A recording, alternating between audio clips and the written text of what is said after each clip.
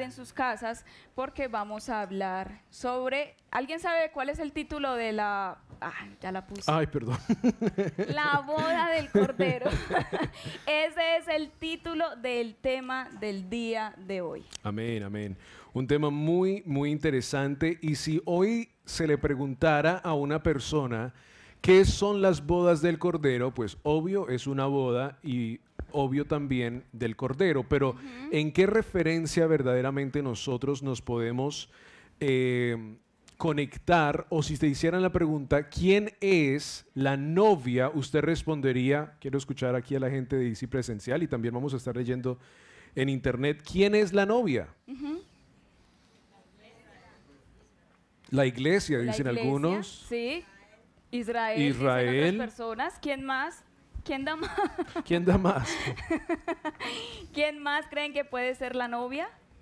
Vamos a mirar entonces el día de hoy. Amén. Vamos a estar leyendo entonces eh, en el día de hoy algunas citas que creo que nos van a ayudar, porque creo que muchas personas, incluyéndonos, eh, venimos con a lo mejor una información que no es mm, la correcta. Y también tenemos que hacerle, como decimos aquí en ICI, auditoría a, este tema. Así que vamos a comenzar en el día de hoy en el libro de Apocalipsis, capítulo 19 verso 5, Apocalipsis capítulo 19, verso 5. Y es muy importante que pueda usted también, si va a tomar notas, que pueda seguir con nosotros esta escritura para verdaderamente entender la enseñanza que el Eterno ha puesto. Hemos estado trabajando de verdad eh, muy duro para poder sacar esta enseñanza porque el Eterno nos ha hablado de una gran manera. Apocalipsis capítulo 19, versos 5 al 6 dice, y salió del trono una voz que decía, alabad a nuestro Elohim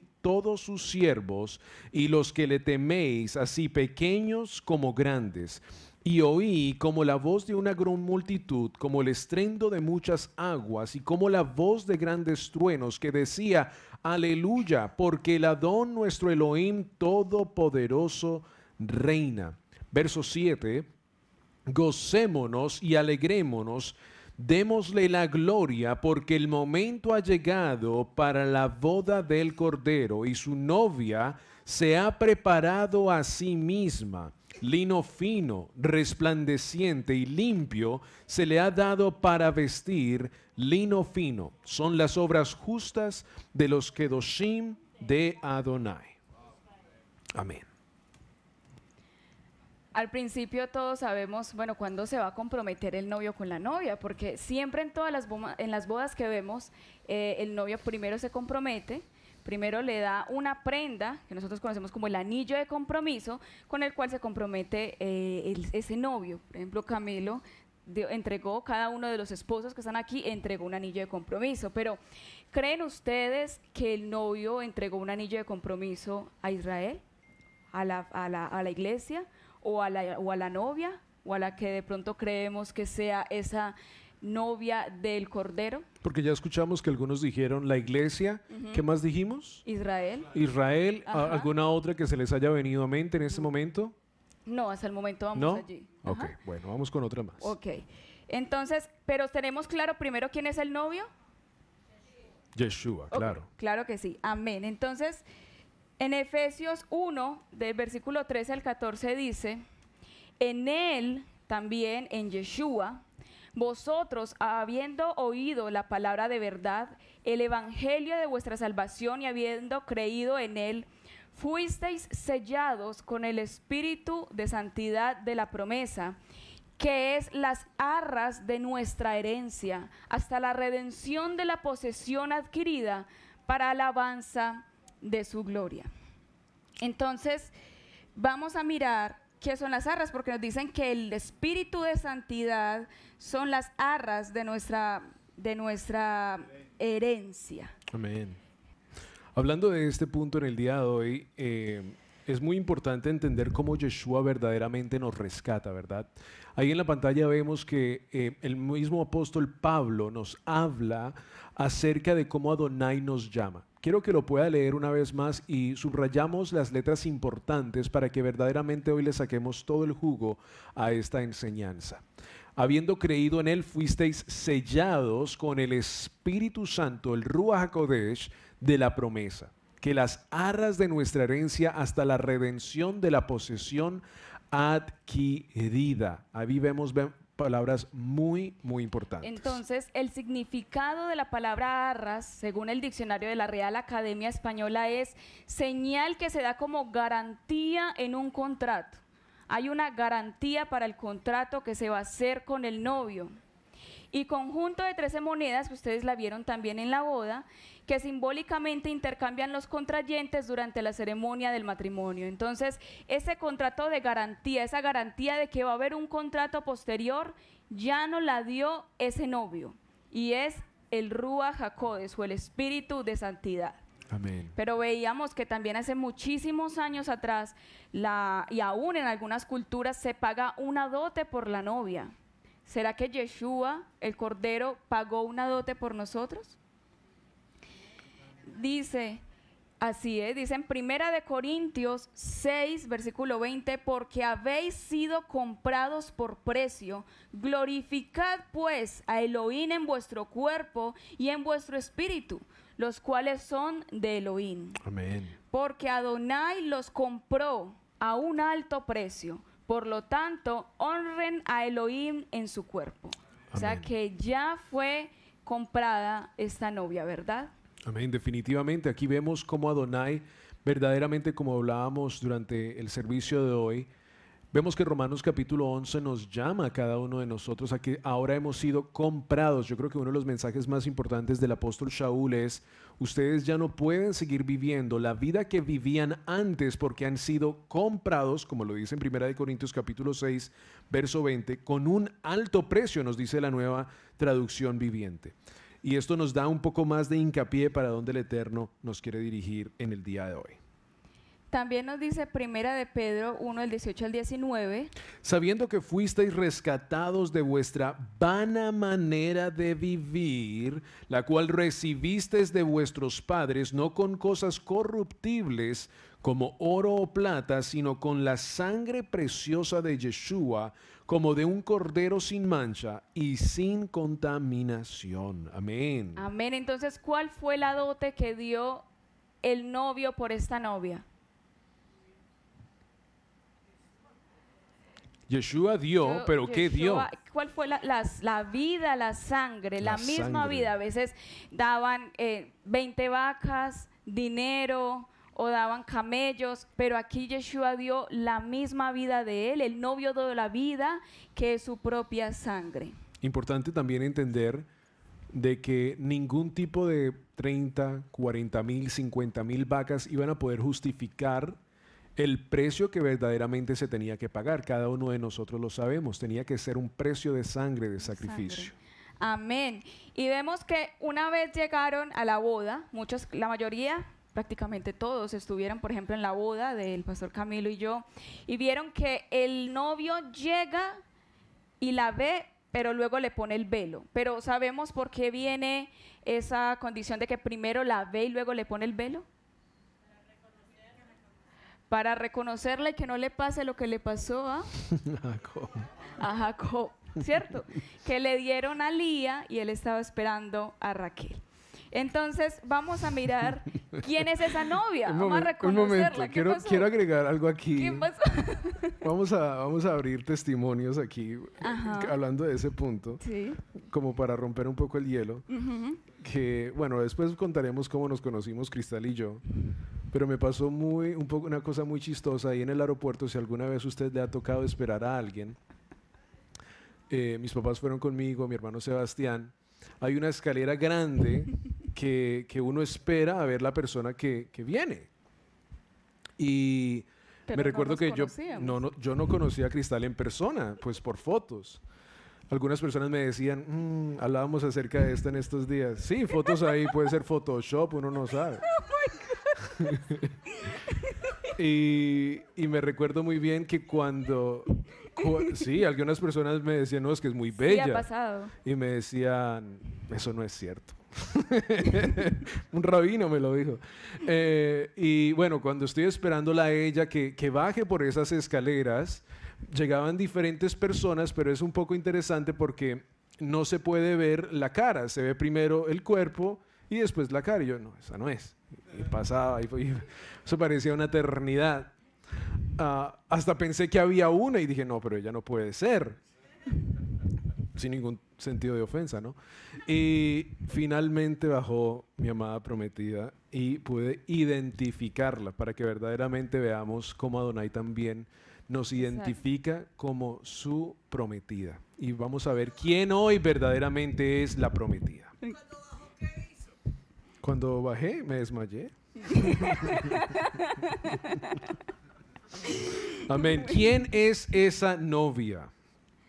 Amén. Entonces hay una primera opción que ya la dieron aquí los amados y dicen, en segunda de Corintios 11 del 2 al 13 dice, porque os celo con celo de Elohim, pues os he desposado con un solo esposo para presentarles como una virgen pura a Mashiach.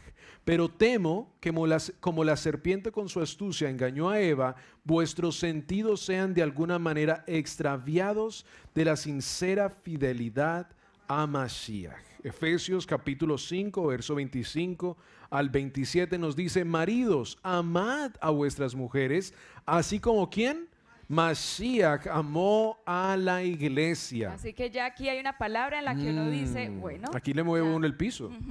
Y se entregó a sí mismo por ella para santificarla, habiéndola purificado en el lavamiento del agua por la palabra, a fin de presentársela a sí mismo una iglesia gloriosa que no tuviese mancha ni arruga, ni cosa semejante, sino que fuese santa, kadosh y sin mancha. Amén. Esa es la opción que ya dijo- la, la dieron aquí algunas hermanas, es la iglesia. Pero también vamos a mirar otro versículo. En Oseas 2, del versículo 16 al 17, dice, en aquel día, dice Adonai, tú me llamarás Ishi, mi esposo. Ya nunca más me llamarás Baali, mi Señor. Señor. Porque yo removeré de tu boca los nombres de los Baales. Ellos nunca más serán mencionados por nombre. Y sigue, Mm. yo te desposaré conmigo para siempre. Sí, yo te desposaré conmigo en rectitud, en justicia y en tierna compasión. En misericordia y en tierna compasión, yo te desposaré conmigo en fidelidad y tú conocerás a Adonai. Ahora, hablemos muy bien. Hemos hablado ya de dos diferentes opciones. La primera, la, la iglesia. iglesia, pero ¿de quién estaba hablando Oseas? ¿Sabe alguno de quién estaba hablando Oseas en esos versículos? De Israel. O sea que están las dos opciones. Uno dice, en el primero dice, en el Nuevo Testamento, en el Brit Hadasha, en el Nuevo Pacto, como lo conoce ca- eh, cada persona, dice que la iglesia, en el Antiguo Pacto dice que es Israel. Vamos a mirar qué pasa. Pero hay una tercera opción, porque en la Torah también está esa tercera opción. Amén. Y lo que quería preguntar con esa pregunta es, algunas personas dijeron la iglesia. Si decimos la iglesia, ¿qué pasa con Israel? Si decimos Israel, ¿qué pasa con los prometidos que creen en Yeshua HaMashiach? Tenemos un gran problema aquí que verdaderamente le tenemos que hacer auditoría.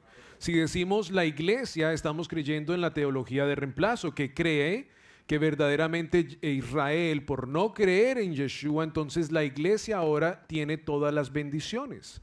Si creemos que es Israel, nos estamos quitando nosotros, como me gusta decir a mí, del cálculo y verdaderamente nosotros no vamos ni para el cielo. Así que vamos para la tercera eh, opción. No te vistas que no vas o montate en mi arca. En Apocalipsis 21.2 dice, también vi la ciudad santa, la Jerusalén de lo alto, descendiendo desde el cielo de Adonai, preparada como una esposa hermosamente vestida para, su, esposo. Amén. Esto es en el libro de Apocalipsis, capítulo 21, verso 2. Así que ya hay una tercera opción. Mm. Dice, uno de los siete malajim que tenía las siete copas de las siete plagas se acercó a mí y dijo, ven, te mostraré la novia, la esposa del Cordero. Y en Apocalipsis 21:10 dice, me llevó en el Ruach a la cumbre de una gran y alta montaña y me enseñó la ciudad Cados, Jerusalén, descendiendo del cielo de Adonai. Amén. Amén. Qué lindo es poder leer esta escritura y quedarnos un poco confundidos, porque ahora nos hacemos una vez más la misma pregunta. ¿Será la iglesia? ¿Será Israel? ¿O será Jerusalén. Jerusalén? ¿Eso no lo dice la Torah o la Torah se queda indecisa? Vamos a Mm. mirar qué pasa. Primero vamos a mirar qué ocurre con las dos primeras opciones que teníamos. Efesios 2 del 14 al 15 dice, Porque él, mi- él mismo es nuestro shalom. Él nos ha hecho a ambos pueblos uno y ha derrumbado la pared intermedia que nos dividía, destruyendo en su carne las enemistades, la, la ley de mandamientos en orden a ritos, los sacrificios de animales y ordenanzas humanas. Él hizo esto para crear en unión con él mismo de las dos un nuevo hombre haciendo shalom. o sea, Qué lindo, ¿no? amén. O sea los que estamos ya aquí, como dicen los pastores, en el tercer nivel, muchos ya conocimos esto, ¿verdad? Hubo una división, ya hay un muro que, se, que está, pero sigue habiendo dos opciones entonces. Se juntan las dos primeras, ¿qué pasa con la tercera? Vamos a seguir mirando. Efesios 2.15 dice, Para así reconciliar para Adonai mediante el poste ambos pueblos en un solo cuerpo, siendo ejecutado como un criminal, mató en sí mismo esa separación. Amén, Baruch Hashem. Efesios capítulo 2, verso 19 agrega este punto y nos dice, así que entonces ya no sois extranjeros Amén. ni desconocidos, o sea, ya no somos Gojim, ya no Amén. somos fuera de pacto, idólatras, sino que ahora, sino de la misma ciudadanía con el pueblo de Adonai y miembros de la misma familia de Adonai. Mira cómo a veces nos rascan, como dice la pastora Piri y el pastor Roberto, y todavía nos sacan cosas de la teología de reemplazo en nuestra vida, ¿verdad? La diferencia entre verdaderamente entender lo que el apóstol Pablo le quería decir a las iglesias. Hemos visto un Pablo, por supuesto, que que lo pintan como un hombre que, que odiaba a los judíos o que ya no quería nada que ver con los yehudí, cuando no era nada lo que él verdaderamente era llamado. Él dijo, he sido llamado ahora a predicarle a los gentiles. Decirles que, oigan, ustedes también pueden entrar en el pacto con Adonai. Ah, es, es algo que yo creo que me va a gustar mucho repetir por el resto de mi vida. Y es que muchas personas nosotros conocemos que nos dicen, no, yo soy un gentil, yo no tengo que hacer eso. Al verdaderamente nosotros hacerle auditoría a esta palabra, ir a la propia Wikipedia, al, eh, al ¿cómo es? Diccionario la Real Academia Española. vamos a poder ver que el ser un, gentil, un gojim, que un mismo judío te puede decir en la calle, me lo han dicho a mí también, eh, es decir, que tú eres un idólatra, que estás fuera de pacto. Desafortunadamente a la teología eh, paulina nos enseñó que nosotros éramos gentiles. Ah, que yo no tengo nada que ver con Israel. Y lo que verdaderamente estábamos diciendo es, yo no soy digno de ser parte del pueblo de Israel. Y lo que Pablo nos está diciendo es totalmente diferente. El Amén. verdadero apóstol Shaul nos está diciendo, de los dos ha hecho uno. Amén. Y en Ezequiel 37, del 15 al 18 dice, vino a mí palabra de Adonai diciendo, Hijo de hombre, toma ahora un palo y escribe en él para Judá y para los hijos de Israel sus compañeros. Toma después otro palo y escribe en él para José, palo de Efraín y para toda la casa de Israel sus compañeros. Amén. Júntalos luego el uno con el otro para que sean uno solo y serán uno solo en tu mano. Y cuando te pregunten los hijos de tu pueblo diciendo, ¿no nos enseñarás qué te propones con eso? Diles, así ha dicho Adonai el Eterno, he aquí yo tomo el palo de José que está en la mano de Efraín y a las tribus de Israel sus compañeros, y los pondré con el palo de Judá, y los haré un solo Amén. palo, y serán uno en mi mano, y los palos sobre los que escribas estarán en tu mano delante de tus ojos. Amén. Y les dirás, así ha dicho el Eterno, he aquí yo tomo a los hijos de Israel de entre las naciones, de entre las naciones, o sea que no son los hijos de Israel que están en Israel, los hijos de Israel que están entre las naciones, a las cuales fueron y los recogeré de todas partes. Están regados por todas partes, no están en un solo lugar. Y los traeré a su tierra y los haré una nación en la tierra en los montes de Israel, y un rey será a todos ellos por rey. Y nunca más serán dos, naciones, ni nunca más estarán divididos en dos reinos. Amén, amén. Baruch Hashem. Qué lindo es poder verdaderamente ver este mismo palo que tenemos aquí y ver que es la misma profecía, o sea, la, la profecía en palo, literalmente física, de lo que Adonai verdaderamente quiere hacer con nosotros. Es muy importante, eh, yo sé que a veces molestamos en el Kahoot eh, lo de los módulos y creo que lo lindo es para las personas que estamos estudiando los módulos, que verdaderamente entendemos y hemos estado estudiando esto, esto para nosotros es la revelación de estos tiempos.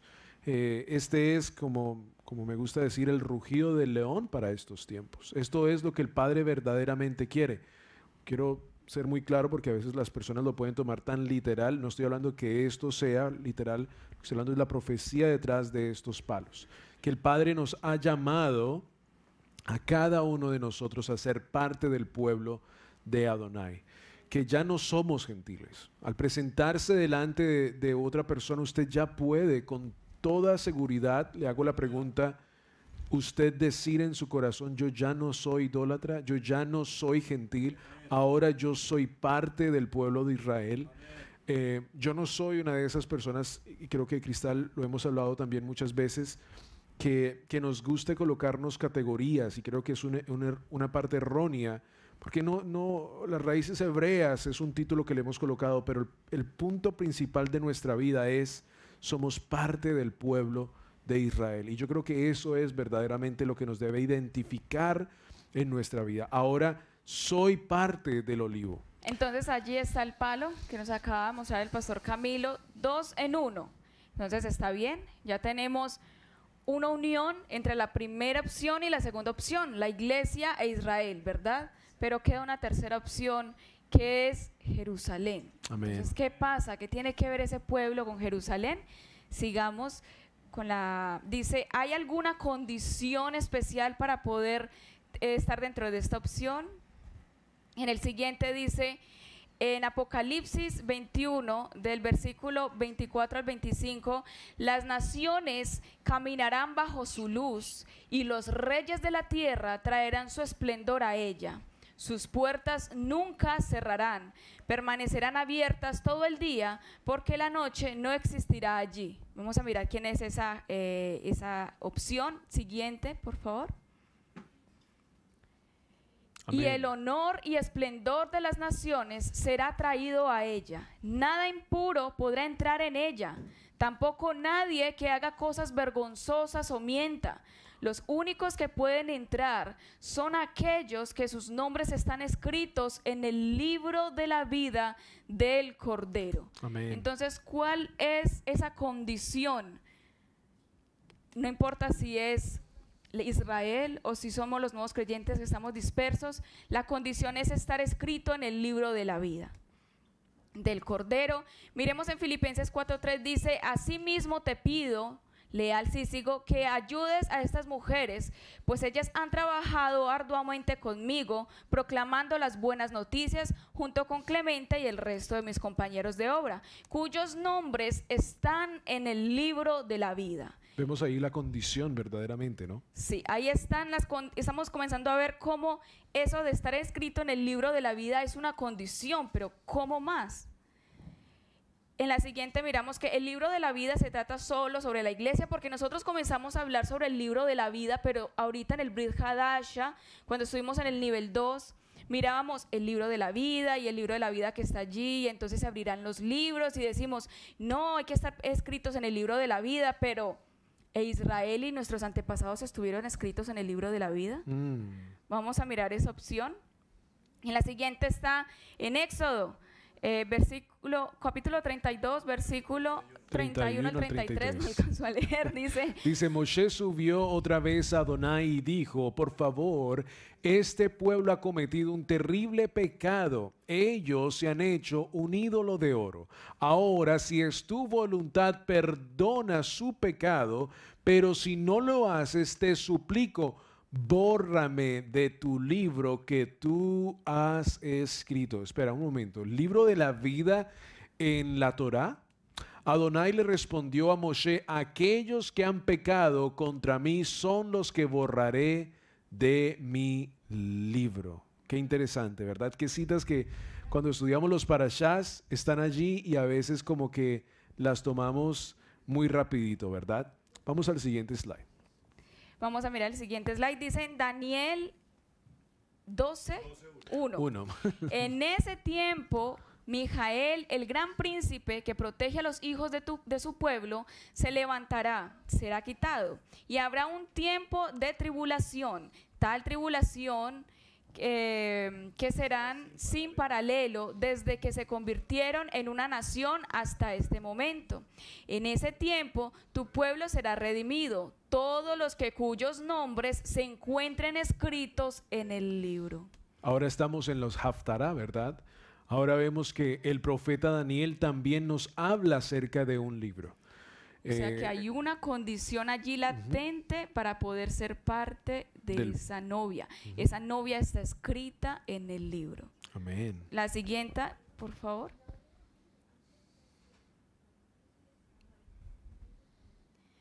¿Y qué pasa con Jerusalén? Porque estamos mirando, ok, está el pueblo de Israel más los, los que estamos dispersos por las naciones, está bien, somos uno en las manos del Eterno, tendremos que estar escritos en el libro de la vida, tanto los unos como los otros, pero ¿y qué pasa con la tercera opción? Entonces en la siguiente podemos ver algo especial y dice, en Zacarías 8, 3, 8. 3:8.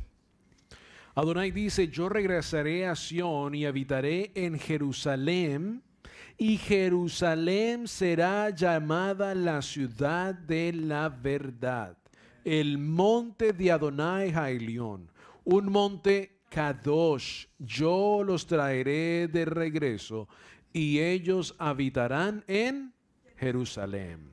Ellos serán mi pueblo, y yo seré su Adonai en verdad y en justicia. Amén. Entonces, ¿qué es Jerusalén? Un lugar a que Eterno nos va a traer. Amén. Dice en Hebreos 11, el versículo 13 al 14, conforme a la fe, murieron todos estos sin haber recibido lo prometido, sino mirándolo de lejos y creyéndolo y saludándolo y confesando que eran extranjeros y peregrinos sobre la tierra, porque los que esto dicen claramente dan a entender que buscan una patria. Pero ¿cuál es esa patria? Pues si hubieran estado pensando en aquella de donde salieron, ciertamente tenían tiempo de volver, pero anhelaban una mejor, esto es, celestial.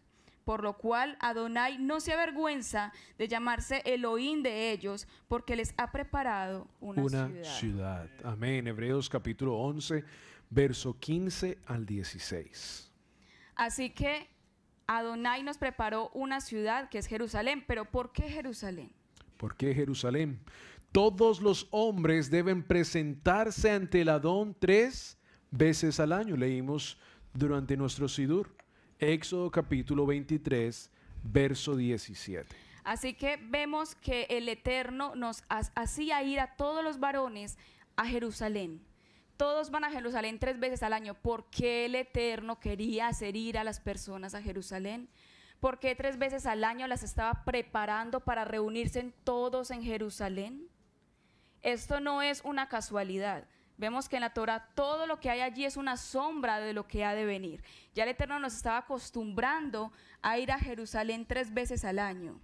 Y dice que, pero nosotros diríamos, ¿por qué insistentes en ir a Jerusalén? Y resulta que es que nos olvidamos que hay un lugar especial en el cual el Eterno nos quiere tener. Y lo hemos olvidado desde épocas antiguas. En Segunda de Reyes 23, 22 dice... Tal Pascua no se había celebrado de los días de los jueces que gobernaban a Israel, ni en ninguno de los días de los reyes de Israel y de los reyes de Judá. Estaban dejando de ir a Jerusalén, el pueblo mismo de Israel, desde pueblos de, an- de antaño habían dejado de ir a Jerusalén. Por lo tanto, eso era lo que el Eterno no quiere que olvidáramos y eso es lo que nos está diciendo, ir a Jerusalén. Pero ¿por qué a Jerusalén? Mateo capítulo 23, verso 37, nos dice, oh Jerusalén, Jerusalén, la ciudad que mata a los profetas y apedrea a los mensajeros de Elohim.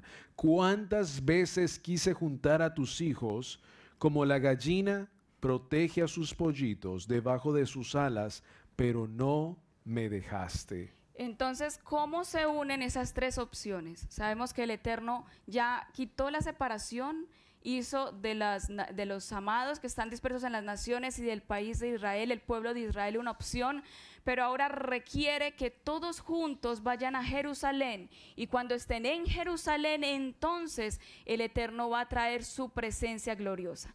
Por eso es que la opción, la última opción que nos dieron fue la nueva Jerusalén.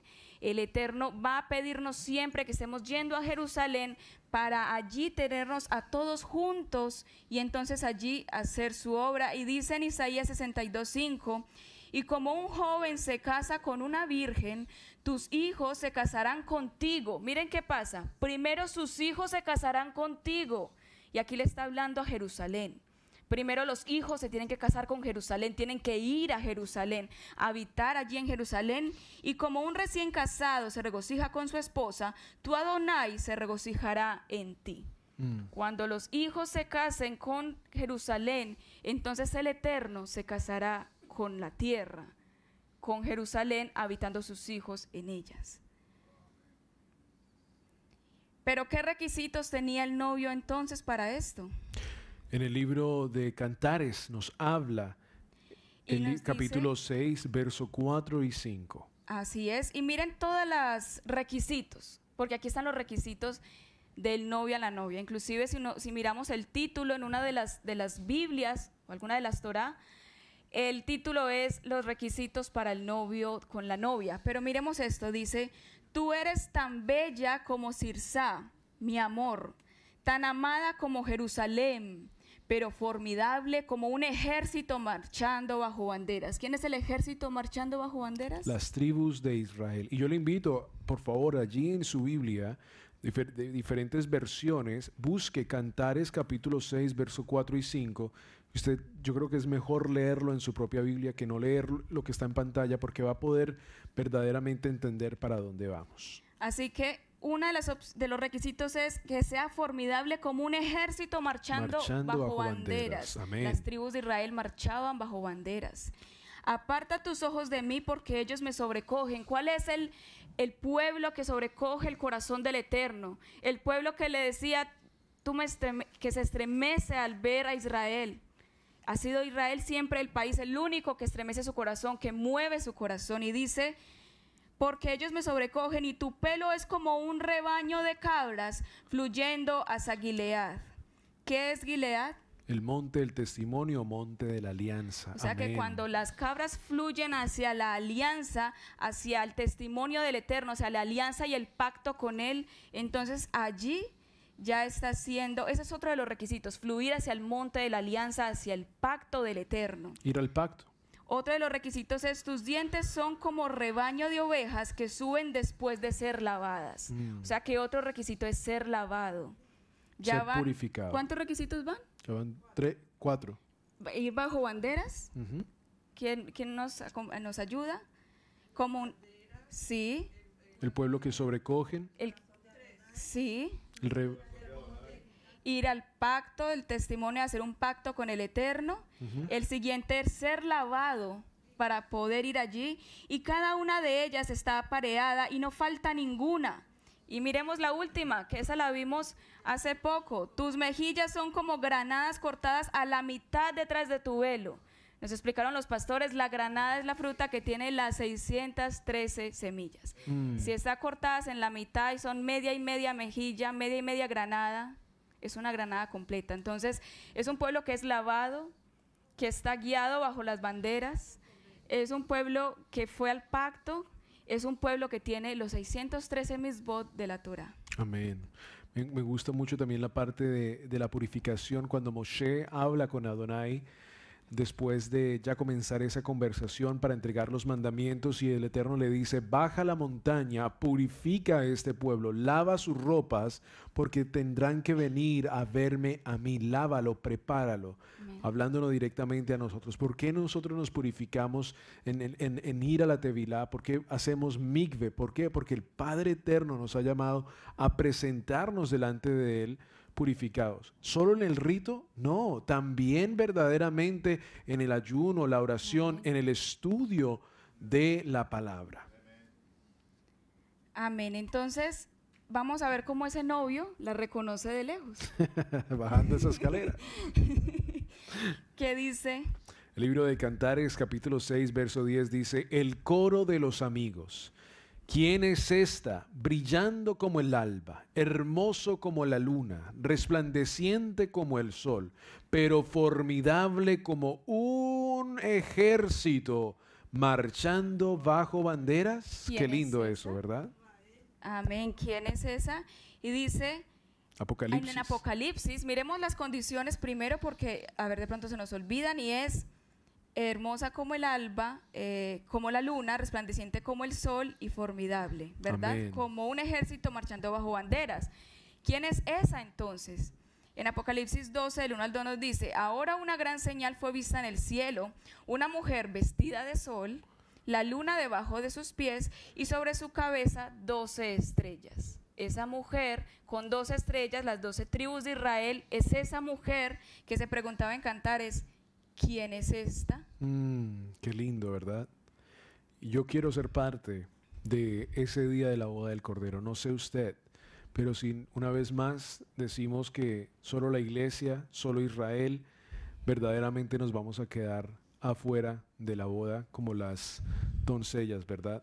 Esperando a que el novio llegue y quedándonos muy dormidas. Pero yo creo que ya hay algo claro, ya sabemos quién es la novia, ¿verdad?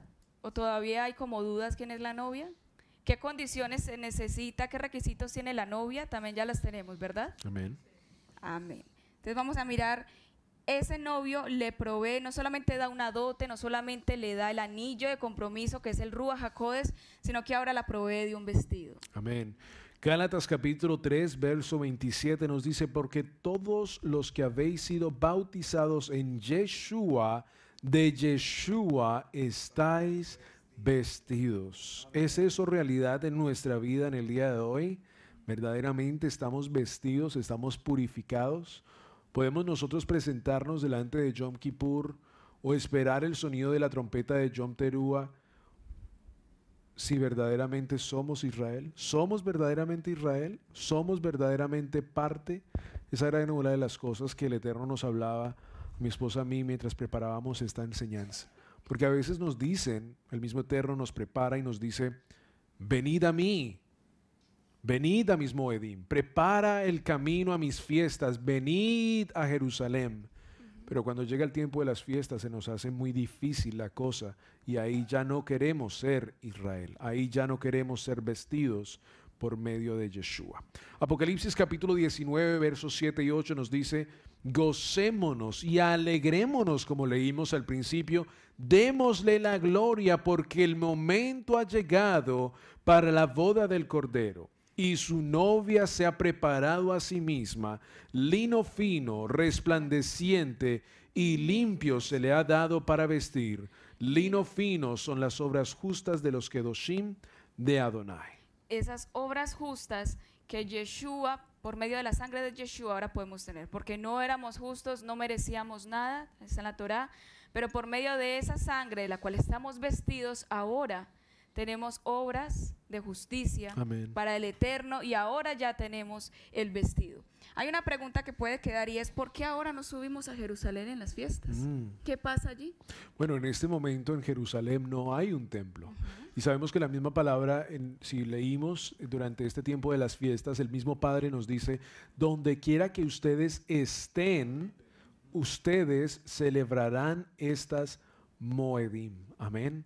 Qué lindo es saber que aún el Padre, ya en su profecía bíblica, sabía lo que iba a acontecer y que un día nosotros vendríamos al eh, llamamiento de las ovejas perdidas de la casa de Israel y sabría que estuviéramos hoy aquí en Cherryville, Carolina del Norte, allá en Argentina, bueno, diferentes naciones, preparándonos para un día presentarnos delante de las bodas del Cordero.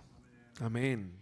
Amén. Y adicional, el novio, para terminar, el novio no solamente le da un vestido, no solamente da una dote por ella, no solamente le da un se compromete con ella, no solamente la mira desde lejos, la reconoce, tiene unos requisitos, sino que él también la dignifica. La dignifica, amén. Y vemos en Jeremías 3 del versículo 17 al 18 que dice, en aquel tiempo llamarán a Jerusalén trono de Adonai y todas las naciones vendrán a ella en el nombre de Adonai en Jerusalén ni andarán más tras la dureza de su malvado corazón.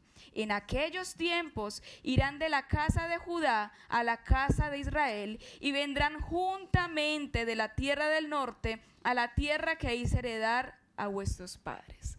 Van a llegar juntos y el Eterno los va a hacer morar. Y entonces ya no van a haber rechazados, ni un muro, ni peleas, que si yo soy Judá, que si no soy Judá, que si me dice judío, que usted me quiere judaizar, que no, que sí, sino que ya va a haber una claridad en nuestros corazones y el Eterno mismo va a dignificar a su esposa. Amén. Puede levantarse conmigo en el día de hoy. Démosle gracias al Eterno. La pregunta grande del día de hoy es, ¿seré yo parte de ese día de las bodas del Cordero? ¿Seré yo esa novia que verdaderamente el Padre espera en ese día?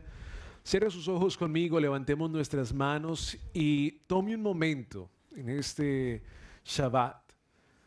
Eh, sé que hemos tenido una semana de fiesta, sé que hemos estado todos los días viniendo, trabajando, pero por favor, hoy eh, en esta enseñanza, yo creo que es una pregunta que usted verdaderamente se tiene que hacer. Y le invito a que se despierte, que se levante en el día de hoy y que verdaderamente entienda que si usted va a hacer ese compromiso con Adonai, especialmente en esta semana en la cual estamos a punto de comenzar un nuevo ciclo de Parashá, hágase una reflexión a usted mismo y verdaderamente eh, busque si usted verdaderamente es parte de ese convenio.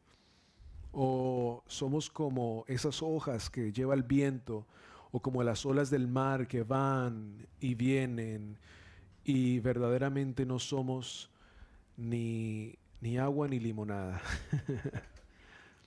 El Padre verdaderamente está buscando una novia que verdaderamente le honre, le busque en espíritu y en verdad. Y la misma palabra lo dice.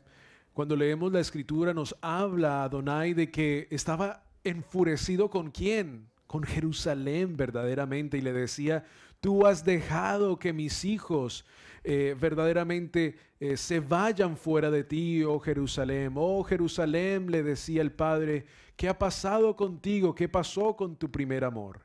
Y verdaderamente lo que el Padre viene a hacer es a reconstruir esa Jerusalén y a verdaderamente llamar a sus habitantes. Esa es la parte principal de esta enseñanza. Que el día cuando Adonai Yeshua venga a habitar en esa gran Jerusalén, yo quiero ser parte. No sé usted, pero yo quiero ser parte de ese día. No me quiero quedar a las afueras de las puertas donde verdaderamente no son bienvenidos los que no son de la ciudad, sino los que verdaderamente habitarán allí. Israel, todas esas personas que también entraron en el convenio por medio de Yeshua Hamashiach y todas las ovejas perdidas de la casa de Israel, un día estaremos allí. Y ahí verdaderamente obtendremos la salvación completa que el Padre quiere para nosotros. Padre, venimos delante de ti en el nombre de Yeshua Hamashiach, bajo el poder del Ruach HaKodesh, a darte gracias, Padre, por este día. Gracias, Padre, porque sabemos que es en Sukkot cuando este acontecimiento tan grande de las bodas del Cordero toman lugar. Gracias, Padre, porque sabemos que tú nos has llamado. No sabemos nuestra herencia eh, sanguínea Y no importa, porque sabemos, Padre, que por medio de ti, Yeshua Hamashiach, nosotros obtenemos la oportunidad, porque tú eres el camino, la verdad y la vida, de poder ahora ser parte de Israel. Y te damos gracias por eso. Nunca queremos parar de agradecerte por eso, por lo maravilloso que es, que viste, Padre, que nosotros estábamos fuera de pacto, nos rescataste y ahora somos parte de la familia de Adonai. Te damos toda la gloria, toda la honra a ti en el día de hoy, Padre. Y yo te invito, Padre, para que también hoy abras los corazones de nuestras familias, que abra los corazones de aún amados en este mismo lugar sentados, viéndonos en internet, que todavía sus corazones no entienden esto, pero saben que el Eterno los está llamando con el silbido. Padre, sabemos que tu llamado está saliendo a cada rincón de la tierra. Levante sus manos y agradezca, ore por esas personas en este momento, amados,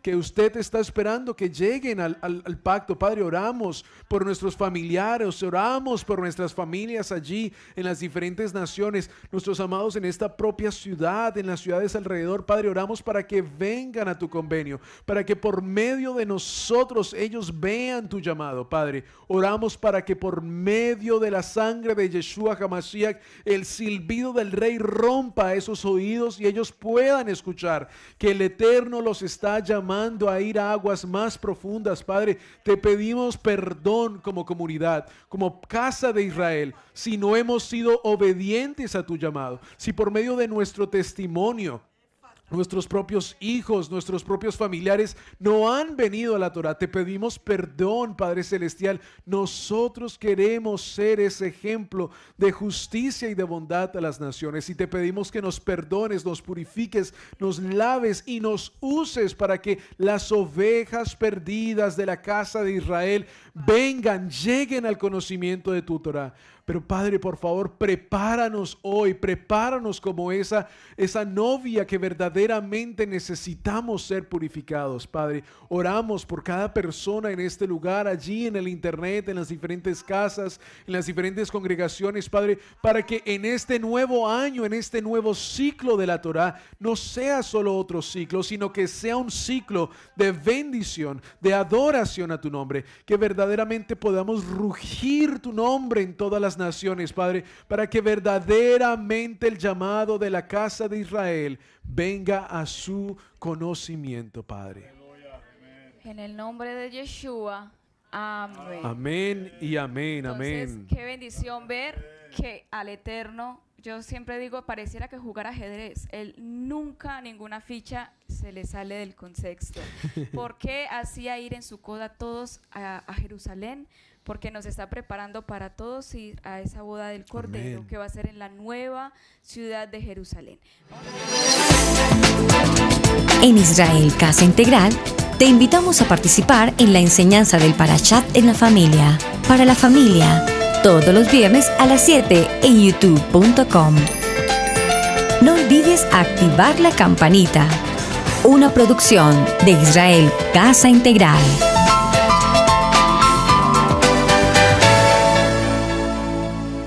Amigos, gracias por ver el video del día de hoy. Con tu control remoto puedes seleccionar el botón arriba de suscribirte y también te dejamos dos videos que también sabemos que van a ser de ayuda para tu vida. Gracias por estar con nosotros aquí en Israel Casa Integral. Recuerda, es un gran privilegio servir a Donai.